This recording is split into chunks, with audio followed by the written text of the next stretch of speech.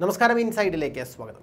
നടിയെ ആക്രമിച്ച കേസിൽ എട്ടാം പ്രതിയായ ദിലീപും സംഘവും ജഡ്ജിയെ സ്വാധീനിക്കാൻ ശ്രമിച്ചു എന്ന പേരിൽ ഒരു ഓഡിയോ ക്ലിപ്പ് ഇന്ന് രാവിലെ പുറത്തു വരികയുണ്ടായി. പക്ഷേ അതിന്റെ ആധികാരികത വലിയ രീതിയിൽ ചർച്ച ചെയ്യപ്പെട്ടിരുന്നു. അത് സത്യമാണോ ഇല്ലയോ എന്നുള്ള സംശയം ഉയർന്നിരുന്നു. ഇതിനെ തുടർന്ന് വ്യാജമാണ് എന്ന് കണ്ടെത്തിയതിനെ തുടർന്ന് ഇത് ആദ്യം നൽകിയ മാധ്യമങ്ങളടക്കം അത് പിൻവലിക്കുകയാണ് ഉണ്ടായത് അത് വ്യാജമായി നിർമ്മിക്കപ്പെട്ടതാണ് എന്ന് ഇപ്പോൾ തെളിഞ്ഞിരിക്കുകയാണ്. ഈ ഒരു സാഹചര്യത്തിൽ മറ്റൊരു തിരിച്ചടി അന്വേഷണ സംഘത്തിന് ഉണ്ടായിരിക്കുകയാണ്. അതായത് ദിലീപിന്റെ ഫോണിൽ കോടതി രേഖകൾ കണ്ടത് സംബന്ധിച്ചുകൊണ്ടുള്ള അന്വേഷണം നടത്താൻ പോലീസിന് അധികാരമില്ല എന്നുള്ള വിചാരണ കോടതിയുടെ വിധിയാണ് ഇപ്പോൾ വലിയ രീതിയിൽ അന്വേഷണ സംഘത്തിന് ക്രൈംബ്രാഞ്ചിന് തിരിച്ചടിയായിരിക്കുന്നത്.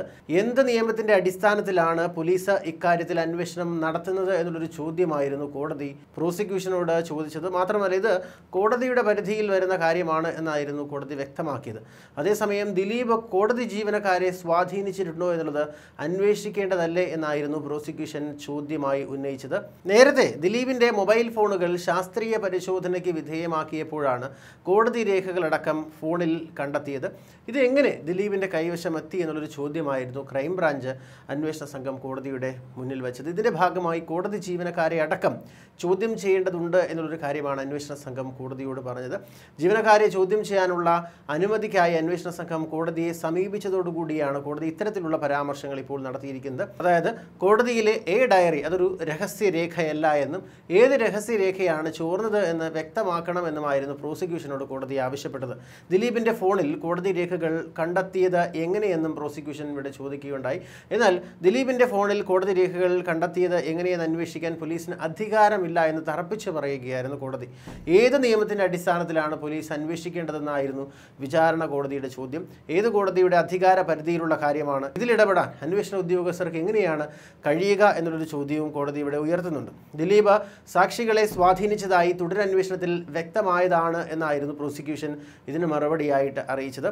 ഇതിൽ കോടതി ജീവനക്കാരുണ്ടോ എന്നുള്ളതൊരു സംശയമാണ് എന്നും അത്തരത്തിലൊരു വലിയ സംശയത്തിന് ഇപ്പോൾ പ്രസക്തി ഉണ്ട് എന്നുള്ള കാര്യവും പ്രോസിക്യൂഷൻ ഇവിടെ ചൂണ്ടിക്കാട്ടി. അതേസമയം നടി ആക്രമിക്കപ്പെട്ട കേസിൽ കോടതി രേഖകൾ ചോർന്നിട്ടുണ്ട് എങ്കിൽ എത്രയും പെട്ടെന്ന് അതിശക്തമായ നടപടി സ്വീകരിക്കാൻ വിചാരണ കോടതി തയ്യാറാകണം എന്നായിരുന്നു അഡ്വക്കേറ്റ് അജയകുമാർ ആവശ്യപ്പെട്ടത്. ജഡ്ജി എഴുതിയ രേഖകൾ അതേപടി ഫോട്ടോ എടുത്ത് ആരെങ്കിലും പ്രതിക്ക് അയച്ചു കൊടുത്തിട്ടുണ്ടെങ്കിൽ അത് വളരെ ഗുരുതരമായിട്ടുള്ള തെറ്റാണ് എന്നായിരുന്നു അദ്ദേഹം പറഞ്ഞത്.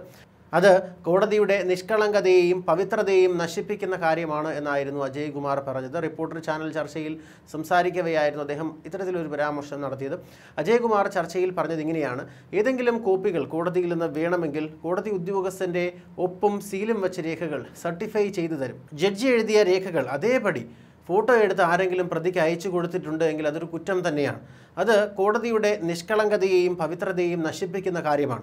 ഒരു സർട്ടിഫൈഡ് കോപ്പിക്ക് അപേക്ഷിച്ച് കഴിഞ്ഞാൽ ആ അപേക്ഷ ജഡ്ജിക്ക് മുന്നിലെത്തും. അതിനുശേഷം ജഡ്ജി അത് ഓർഡർ ചെയ്യും. അതിനനുസരിച്ച് സെഷനിൽ നിന്നും രേഖകൾ സർട്ടിഫൈ ചെയ്ത് ലഭിക്കുകയാണ് പതിവ്. ഈ രേഖകൾ ഫോട്ടോ എടുത്ത് കൊടുക്കണം എന്ന് പറയാൻ കോടതിക്ക് യാതൊരു അവകാശവുമില്ല. അത്തരത്തിൽ അയച്ചു കൊടുക്കണമെന്ന് പറയണമെങ്കിൽ എന്തെങ്കിലും അവിഹിത ഇടപെടൽ നടന്നിട്ടുണ്ടോ എന്ന് വേണം വിലയിരുത്താനെന്നായിരുന്നു ജയകുമാർ പറഞ്ഞത്.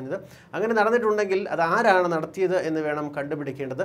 ആ ബാധ്യത വിചാരണ കോടതിക്കാണ്. ആ കാര്യം അന്വേഷിക്കാൻ അന്വേഷണ ഉദ്യോഗസ്ഥന് അധികാരവും അവകാശവും എന്താണ് എന്ന് കോടതി ചോദിക്കുമ്പോൾ കോടതിയും സംശയത്തിന്റെ മുൾമുനയിലാണ് എന്നായിരുന്നു അദ്ദേഹം പറഞ്ഞത്. ഇനി ഇക്കാര്യത്തിൽ നടപടി സ്വീകരിക്കേണ്ടത് ഹൈക്കോടതിയാണെന്നും അതിന് അന്വേഷണ ഉദ്യോഗസ്ഥരെയോ അതിജീവിതയോ ഹൈക്കോടതിയെ സമീപിക്കുകയും മുന്നിലുള്ള തടസ്സങ്ങൾ നീക്കി എത്രയും പെട്ടെന്ന് അന്വേഷണം മുന്നോട്ട് കൊണ്ടുപോവുകയോ ചെയ്യേണ്ടതുണ്ട്. സാക്ഷികളെ അട്ടിമറിക്കാനും അവരെ സ്വാധീനിക്കാനും കൂറുമാറ്റാനും കോടതിയിൽ നിന്നും സഹായം കിട്ടിയിട്ടുണ്ടോ എന്ന് അന്വേഷിക്കേണ്ടത് അന്വേഷണത്തിന്റെ ഭാഗം കൂടിയാണ്. കോടതി നടപടികൾ പൂർണമായും നിഷ്പക്ഷമായിരിക്കണം.